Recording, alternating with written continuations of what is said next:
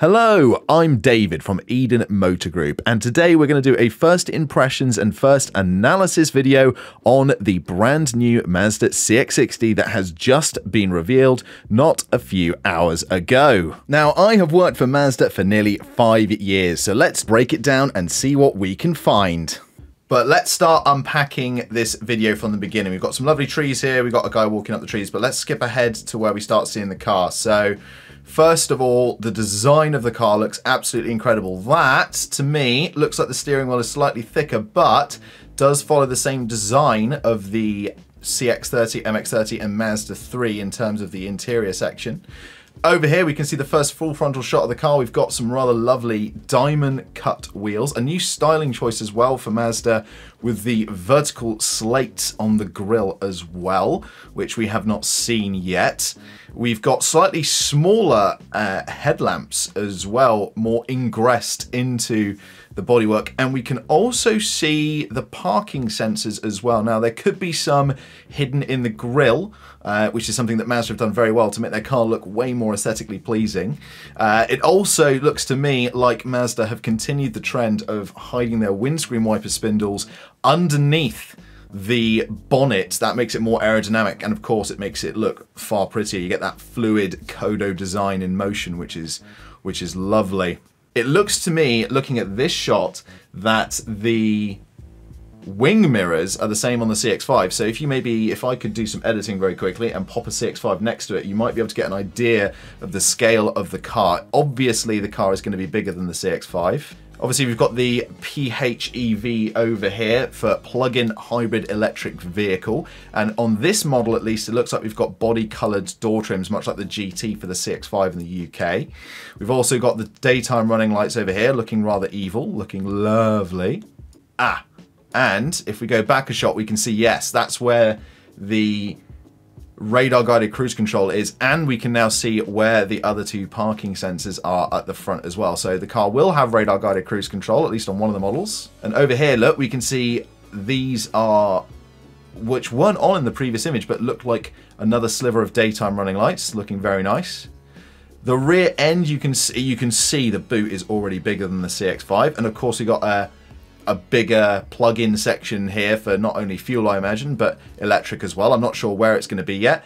And we've got ingress exhausts into the bumper as well. Much more that premium Mazda feel um, that they've been going for recently. It looks incredible. Now this one here, quite interestingly, has black coloured door mirrors and black front grille and black over here. Now the CX-5 in the UK has got a version called the Sport Black and the Sport Black Edition, where they, instead of having a chrome bumper, they have a black bumper, black wheels, which this one also looks like it's got, um, and, uh, and this one looks to be probably something along those lines. So interior wise, that looks amazing. That is almost certainly Nappa leather. It's very difficult to tell from here, but that's almost certainly Nappa leather. But it looks like a, a cloth or almost jean or denim or or uh, or tweed sort of stripe down the middle as well. This is incredible. So this over here on the right hand side looks to be again some kind of ultra suede or, or, or Alcantara suede. Light headlining in this one as well. Obviously this one's left hand drive. Uh, we've got Mazda's auto dipping, auto dimming mirror up here I should say. This, uh, I want to say it's wood but it could be plaid leather and this looks very similar to the MX-30's recycled bottles that are on the interior of the vehicle. So that's a possibility as well. Light leather in this one. It looks like we either have a bigger screen or a bigger surface area of the screen here too, but in that traditional Mazda section so that it doesn't obscure any of the windscreen and you can look at it in your peripheral vision. Look at that. It's some kind of ultra space age tweed almost. It looks amazing. Well, let's go back a second here. Here we go. Let's look at some controls. So this one in particular has heated steering wheel, heated seats, and front air-cooled seats as well. We've got the fan controls here. This is a layout that we're not used to seeing um, in any of the Mazdas so far. Dual zone climate control in this particular um, vehicle with the air conditioning over here. This looks like uh, circulating air here. So a standard dual zone climate control unit. This over here, I don't know, is it for glasses? Is it for, for cups? I would imagine almost certainly it's probably a cup holder. Mazda like putting their cup holders in front so you don't you, you have more space in the central armrest. That over there looks to be the sport button. This looks like the parking brake over here. And we've got the same MX-30 gear stick or drive shift um, with the start button over here as well, and the uh, the hazards up there. We've got the Mazda command center. Oh, let's go and look back at the steering wheel. So, in section Y, so this section here and this section here, that is the same as the MX-30 how and, and the CX-30 and the Mazda 3. However, this branch and the outside of the steering wheel, that's definitely thicker. That's new, looks to be butterfly stitching. And if we look behind the steering wheel, we can also see that it's got a fully digital gauge cluster, which is awesome. Oh man, that the rear end and the front lights look incredible in the dark, don't they? Look at that. Oh, that looks lovely. And here we've got one in machine grey. This one's got the chrome grille look, we can see that. Let's pause that. Is there anything we can notice from here? No chrome on these bits over here. Looks to have body coloured door mirrors and still have the light interior, although it's very difficult to tell. Uh, nothing I can really tell from here. This actually, to me, looks like a rendering rather than the actual car, but I could be wrong. Again, this is definitely real car footage. And again, this is almost certainly real car footage as well. Uh, it's very difficult to tell if that's snowflake white or ceramic. If I was a guess, I'd say that's probably snowflake white, which is Mazda's rather beautiful uh, metallic pearlescent uh, white color. Obviously, soul red crystal for uh, the hero there. Ah, it's got it's got black there as well. I'm very convinced that's a sport black, but we we'll we'll find out. I'm sure.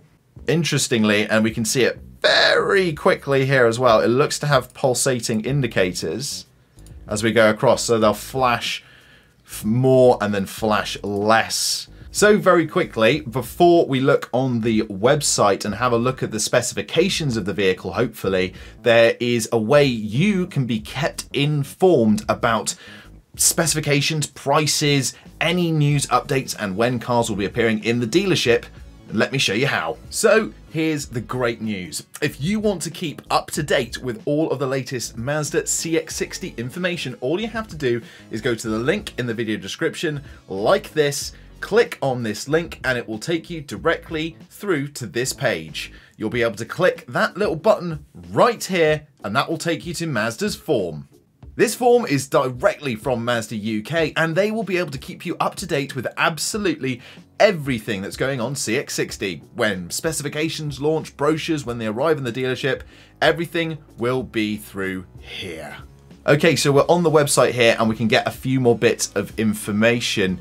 Um, CO2 balance, it looks to me like you can go up to 39 miles in electric mode, which is absolutely incredible. And you've got Mazda's new 8-speed automatic transmission. This was something that was patented probably two and a half to three years ago, roughly around the same sort of time the uh, six-cylinder Skyactiv-X engine was patented as well. So it'd be really interesting to have a look at that new 8-speed automatic transmission, although it does say subject to final homologation, so it needs to go through some tests first.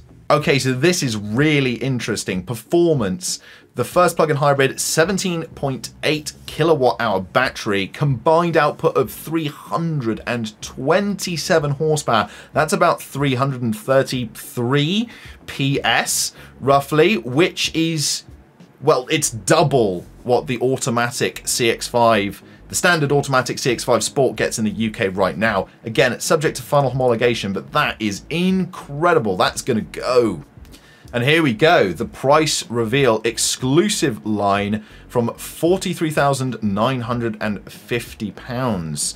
Exterior has hands-free power lift tailgate, so I'm imagining you swipe your feet underneath it and it will open up. A 12.3 color entertainment system, that is bigger than any Mazda to date, which is incredible. Uh, heated steering wheel, black leather seats, and heated front seats as well. So this looks to be the standard vehicle, which looks amazing. Does come with a head-up display, does come with smart keyless entry as well, which is awesome. And there looks to be a comfort pack, a convenience pack right now, and a driver assistance pack. We'll go through that in a moment. Let's look at the other one. So there's the Homura, which is the one with the black bits in it. Not called a Sport Black, but looks to me, black metallic alloy wheels. It looks to be the equivalent of Mazda's Sport Black for the CX-5 in the UK. Looks incredible. Heated outer rear seats and Mazda's new personalization system. Sounds exciting. Sporty appearance, black leather, and ambient lighting. Once again, convenience pack, driver assistance pack, And a panoramic sunroof as well. Very nice. Don't think we've seen a panoramic sunroof from Mazda yet, so that's incredible. And that's from 46,700.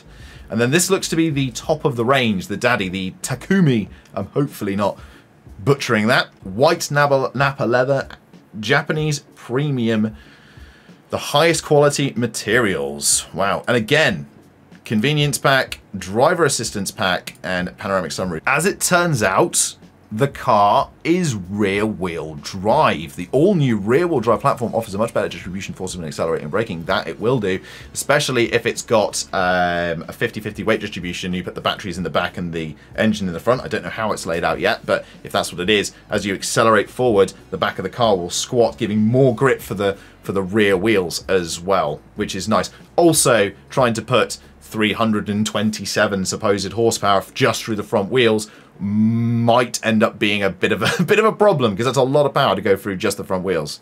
And that looks to be everything that we have seen so far. Click the link in the video description. That will keep you informed of any further updates on prices of power and brochures when the cars are in the showroom as well. Don't forget to hit like on the video as well, as it helps us out massively and it lets us know that you want us to do more reveal stuff in the future. Also, don't forget to hit that subscribe button because, of course, I will be covering more CX60 news, and by clicking subscribe and the notification bell, that means that you'll know when one of our videos goes live and we can do more like this in the future too. Finally, of course, if you want to watch another video of ours right now, don't forget you can click, well, this annotation over here, and that will take you to the Mazda CX-5 that I've gone through recently, or you can click the other side, and that will take you through a load of electric car stuff like regenerative braking. It's a playlist that shows how much does it cost to own an EV, and quite a lot of it is applicable to hybrids as well. Thank you very much for watching, and we'll see you next time. Goodbye.